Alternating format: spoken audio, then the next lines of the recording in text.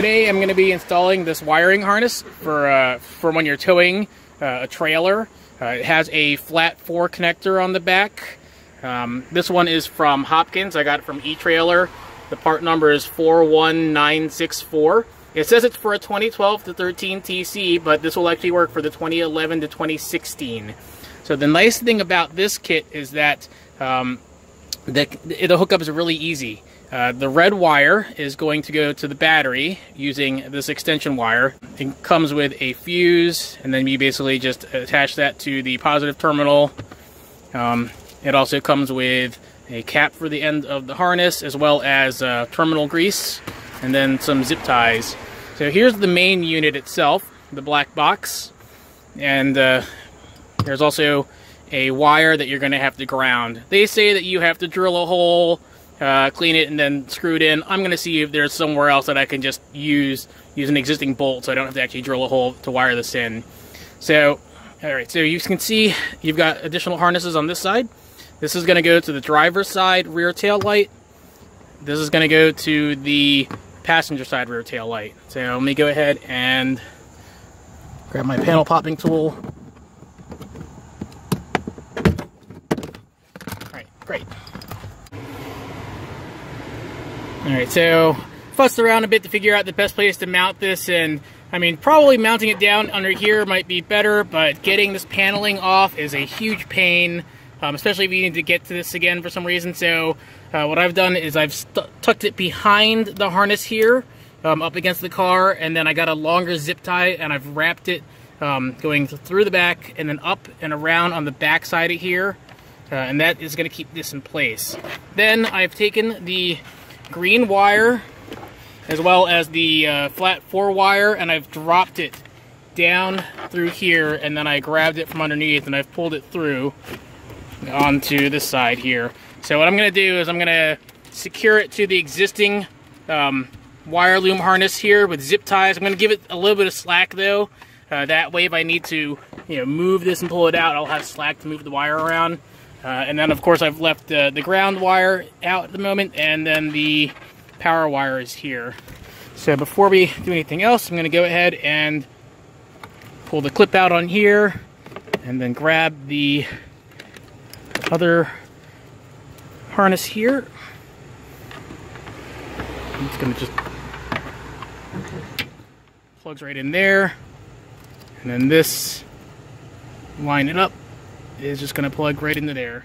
And that's it. That's actually really easy. I think the hardest part with this uh, with this wiring harness is literally just going to be running the wires itself, but that's a, that's a pretty easy install right there. Great, so now let's go ahead. Um, I'm going to secure these wires and then we'll clip the passenger side one in. So getting the green wire up here and out of here is going to be a lot harder than simply dropping the wire down. So what I've actually done is I have some paracord to keep in the car. So I just dropped the paracord down here and have tied off the end of the wire. So now I'm just going to stick the wire down here and pull it out. So that's the easiest way to run the wire through. So um, there is plenty of extra green wire that comes with it here. So once I get everything all plugged in and zip tied, I'm just going to um, roll up the rest of the wire and zip tie it together out of the way. So let's go ahead though, and I'm to go ahead and remove the paracord from here and then plug this harness in on this side. As you can see, I went ahead and zip tied the excess green wire close to the harness. Um, this way it's easy to get to, and then what I'll probably do is just take another big zip tie and put bundle this all together so it doesn't vibrate.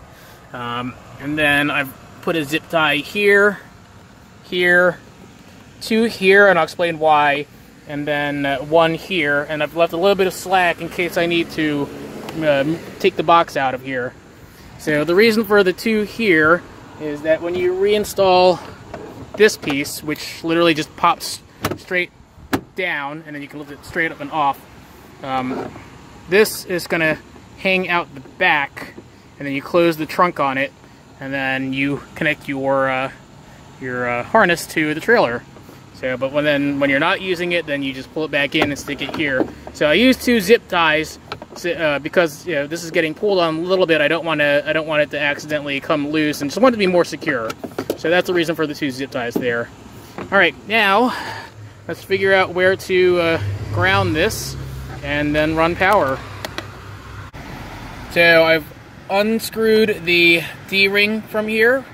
It's a 10 millimeter bolt and I'm going to use that to ground the box here. So as you can see, I've actually cut the end here so that I can open it up a little bit because the bolt uh, is going to be a little bit bigger than the original hole, but now it's going to fit through. So I'm going to mount it so that if you look here, it's going to be this direction, so the flat end is facing facing you, and it's going to slide it around the back here on the trim, and then put it in front of the hole.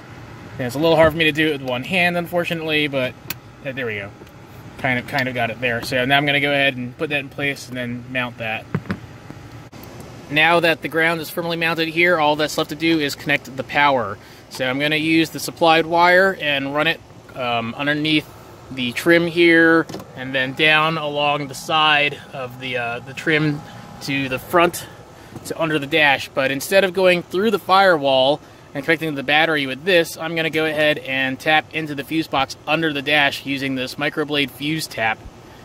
So I've got a 15 amp fuse already installed in there. All I have to do is find an open slot and plug it in. Um, and uh, I'm going to want to plug it into a slot that's always on if I want to mimic uh, you know, hooking it up directly to the battery. The easiest way to do that is to just use a little light tester tool and just find, find one of the plugs that's always on.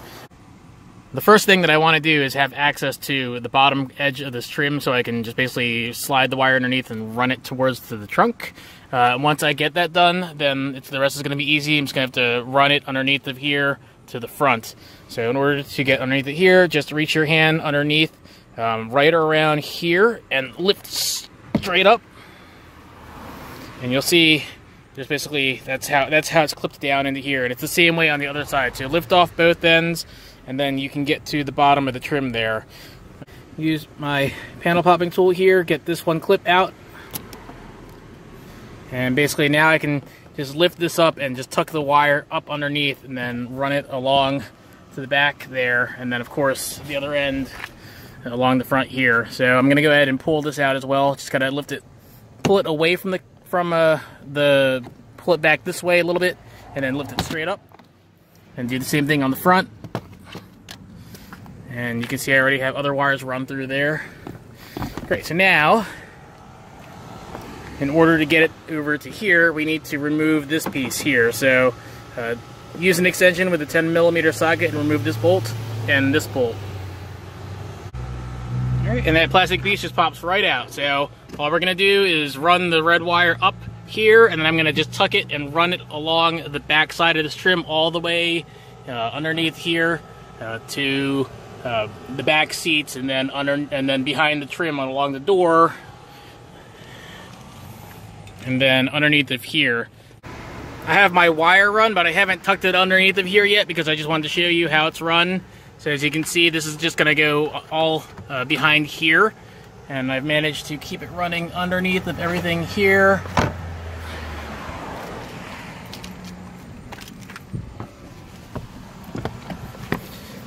Then it runs, you can see the wire runs down. Actually, you can't really see it, but the wire runs down there. And you can see it coming out here. It's going to go behind all of this. Um, and then it's going to get tucked underneath back here. And then tucked underneath here. So these little plastic clips, if you um, pull them this way a little bit at the base and then lift it up, you can just tuck the wire in there and clip it. And then I've run it up and then around to the top here. Alright, so I've got my wires all tucked in now. I'm reinstalling the back seat. So uh, just basically pull your seat belt uh, back through and uh, slide it into the back, line it up here, and you'll find it's, it's actually a little tricky to get it to clip back into place, but okay, so you look at where it's clipped right there, and the easiest way to do is to just take your palm of your hand and slam it right there until it pops back into place. And just do that for both sides. All right. Now it's got to go ahead and reinstall this trim here as well. So this is just going to go right down in place. and then push it straight down. And all that's left now is to reinstall this piece. So you can see all the wires all nicely tucked away. So this piece is just going to slide right back into place right here. It's gonna kind of clip into place here a little bit and then screw it back down. With the wire run, the next thing that you want to do is connect the wire to the box here. Uh, so I'm going to give myself about a foot of slack wire and then wrap up the extra and zip tie it. And then cut the end off, uh, strip a little bit of wire, like about that much there, stick it into the butt connector, and then crimp it with my crimping tool once I find it at least.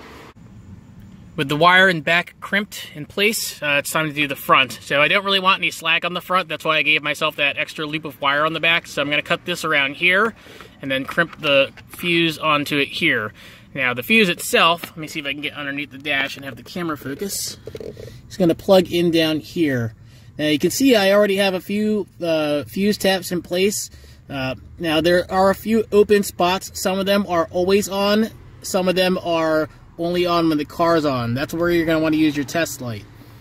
Um, so what I'm going to do is take my test light and I believe one of these 20 amp fuses uh, is always on. So I'm just going to take my test light and test light is on. So yes. So I'm going to use this 20 amp fuse here. The one that is closest to the door. All right, so I'm gonna go ahead pop that fuse out and then I'll show you how to, um, I'll show you how it clips into here and then plugs in. I use my pliers to pull the 20 amp fuse out of the fuse box and if you look here, it's gonna go on the bottom of the fuse tap. So that'll basically uh, let that continue to function as a normal 20 amp fuse in that slot. And then the fuse that's going to go to your accessory is going to go in the top. And you can, you can just tell because that's where the wire is at. So now I'm going to go ahead and plug this back in. And here it is reinstalled now. Uh, note that the wire is uh, coming off of the fuse tap is going towards the front of the car. That's important because the the end that is closer to you is the live side and the side towards the front of the car is the side that's supposed to be fused. So you want to make sure that you run the wires this way. So now I'm going to go ahead and take my test light to the back of the car to the uh, four flat connector and just basically turn on my hazards and make sure that power is going to um, the plug back there. I've already tested my harness so I know it works, but let me show you what you can do to test it yourself. So go ahead, turn on your tail lamp uh, and your hazard lights. Take your test light, connect it to the ground here with the clip, it's the white wire, and then probe the brown wire here. This is going to be the tail light. So as you can see, it's on now. Yellow wire will be the driver's side turn signal and brake. And as you can see, it's flashing to the hazard light. And then the green wire will be the passenger side. So I'm going to stick that in there. And as you can see, it's also flashing. So in order to test the brakes, you'll need to have someone um, in the car turn the hazard signals off and then just probe the yellow wire and the green wire again. So when they push down the brakes, the test light should light up as well. Um, it will not uh, be a solid brake light if the turn signals are activated, so that's why you have to make sure the hazard lights are off when you're testing. Once you've confirmed that uh, the harness is functioning properly, you'll be ready to uh, tow a trailer. I hope this helps you out. Thanks for watching.